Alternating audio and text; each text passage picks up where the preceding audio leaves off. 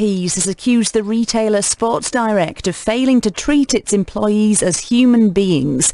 The Business Select Committee says working practices in the company's warehouse in Shirebrook in Derbyshire and in its shops were closer to a Victorian workhouse than a high street retailer. Dave Condliffe is from the Unite Union, which helped expose what's been happening there. For four years, 4,000 workers were paid below the national minimum wage with all kinds of different exploitative work practices going on. I mean, over 100 ambulance call-outs, a young woman giving birth on site. And what the BIS Select Committee wants to tell the rest of the UK is that this is commonplace. And if workers aren't in trade unions and they do not have a collective voice, they cannot challenge legal minimum standards that people enjoy. Well, the committee says an extremely disturbing spotlight has been shone on Sports Direct, with some staff saying they were promised permanent contracts in exchange for sexual favours. Other evidence pointed to serious health and safety breaches. The company is run by Mike Ashley, who appeared in person at the committee hearing last month.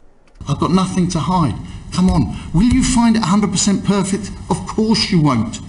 You will find things out that I obviously don't know are going on or happening. I have no issues with this as an ongoing process and I could I prefer it to be That was Mike Ashley speaking at the committee last month. The uh, statement today from Sports Direct is that we will study the contents of this report very carefully and that it's our policy to treat all our people with dignity and respect. It says we're pleased to see that the committee has recognised Mike Ashley's commitment to engage in addressing any shortcomings in the working practices at Sports Direct. It's breakfast. It's BBC Radio Sheffield. Now, we're going to start uh, with talking about Sports Direct. Uh, they have a massive warehouse in Shirebrook in North Derbyshire, as you'll know. And you'll remember that last month, the founder of Sports Direct, Mike Ashley, appeared before a committee of MPs. Well, that committee has just published its findings, and they're damning. Let's speak to Dave Condliffe from the Unite Union. Uh, they're praised in the report for supporting workers and exposing what's been happening at this warehouse. Dave, good morning. Thank you. Good morning. So, what has been happening? Well, this, I mean, this report confirms all our concerns about what's been going on at Sports Direct over the past number of years. And at the heart of the issue is the inability uh, for workers to raise concerns for fear of losing their employment. We've had the well-documented case of a young woman giving birth on site, the health and safety abuses, the numerous ambulance call-outs, and the report refers to workers as, says Sports Direct refers to workers as commodities, working conditions below acceptable standards in a modern civilised economy. And they're especially damning towards the um, practice of the agencies, Best Connections and Transline, who were paid £50 million by Sports Direct to supply labour. And uh, so, I mean, the two agencies in question are accused of giving false evidence and misleading the committee with their, when they were asked questions about their dubious insurance schemes and the fact that they charge workers £10 to set up a bank account, then charge workers again for drawing their own wages out. So we welcome a lot of what's in this report, especially the extension of the scope of the Gangmasters Licensing Authority to look into these practices. But what the mm-hmm. report really highlights is precarious employment, this kind of power imbalance is at the heart of this widespread worker exploitation. Mm-hmm. So we'd call upon mm-hmm. Sports Direct, who we're, in, we're now in positive dialogue with, to move agency workers into fixed hour permanent contracts and start to value their workers. Let's get Sports Direct back into the FTSE 100 index. I mean, you say you're in a constructive dialogue, uh, dialogue yeah. with them. Uh, the report says uh, that Mike Ashley is conducting a working practices review. Do you think things might improve?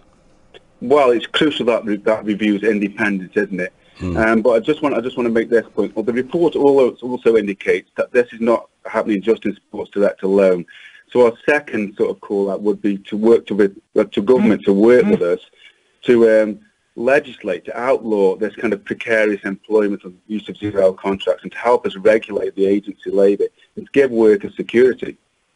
So I mean, there is, there is the option, though, isn't there? Of course, because there are other places where we we could be concerned about um, about working practices, and what they do is they just base themselves in China, and we still happily pay two pound for a blouse to go out at the weekend when they come over here. It all comes down to what the consumer's prepared to pay, doesn't it? Well, I'm not sure about that. I mean, Sports Direct is a highly successful, um, like say, sports retail company. It's in the FTSE 100 index, and it's quite a popular company. So people choose to shop there. I think what what we've had. It's really cheap. Yeah, uh, but like I say, but what we've had throughout this campaign is the mm. public have been sort of made, made aware of what's been going on inside Sports Direct, and obviously it's hit their share price, their valuation, and it's hit their recent profits. Mm. So, with like I say, British, the British public does not like it when workers are exploited. well, so well, but uh, to be fair, Dave, come on, look at the yeah. high streets. Look where the clothes come from. Look at the sweatshops in in the in the um, far east. That's where we buy our clothes from. Yeah, we've got obviously we've got um, a wider. We've got to understand where these clothes come from, and we can address them. We have campaigns that address that. But if we're going to do something about workplaces in the UK today, what I would implore every worker to do is join a trade union because you cannot address these corporate injustices alone. We've seen you cannot raise, and like I say, you cannot raise legal minimum standards. They're difficult to enforce when you're on your own. So this is this is what this campaign is all about. You're right in what you're saying about companies like Primark and things like that, but that's a wider campaign that we involve by educating obviously the public on what the issues that are kind of going on and the why the reasoning behind getting that cheap clothing. But we're concentrating on Sports Direct today and, and the report that's come out. Well, is there a danger because that whilst we concentrate on him, what happens in the report happens because they do say there is, that there is a risk that Mr. Ashley's business model will become the norm for other companies. Well, that's that's our fear, isn't it? Um, that this kind of precarious work employment, we, we estimate between three and four million people in kind of this kind of precarious work. This is what this is what it leads to, this kind of widespread work exploitation. And if this is the model that Sports Direct deploy, what's stopping mm. all other employers deploying this model? There's no reason to have workers on uh, through, like say, through agencies or zero contracts. At the BIS Select Committee, the two agencies were asked what's the average number of hours workers work at the warehouse, and it was between 32 and 39 hours. There's no reason to employ them through agency on temporary contracts when the, when the work's available. Dave, thanks very much indeed for your time this morning. Much appreciated. Thank you very much. That's Dave Condliffe there uh, from the Unite Union. Now, listen, this is really interesting, isn't it? Um, what's been said, because I do. I'd love to know your opinion this morning. You hear about all that. You hear about these awful working practices. We we see Mike Ashley all over the telly, all over the radio, being generally, you know, everybody shouting and pointing at him. But do you still buy your trainers there? Because they're cheaper. And you know, you, you, you, look at the clothes that you're going out and buying for, for this weekend or wherever you go and get your clothes from. Do you care really how they're made? I mean, if we really cared about workers' rights, there are big high street chains that wouldn't be there, aren't there? What's your view? 81333. Start your text with the word Sheffield.